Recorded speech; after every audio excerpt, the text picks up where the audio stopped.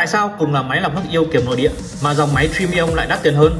Hôm nay mình có đơn lắp máy lọc nước Trimium Grace ở Vinhome kế bên Landmark 81. Thay vì lấy nguồn cấp nước trực tiếp từ vòi rửa bát như nguyên bản thiết kế bên Nhật thì tụi mình sẽ chiên nước ra một vòi riêng để cấp nước cho máy lọc nước.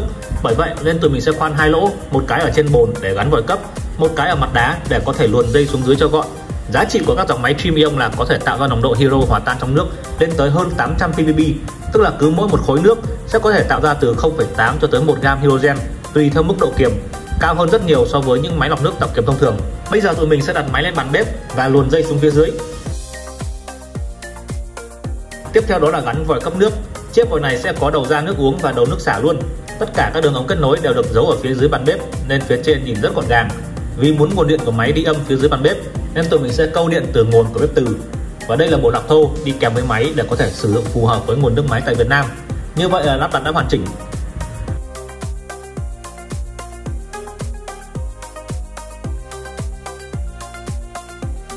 Sau cùng thì mình sẽ test độ pH với mức kiềm 2.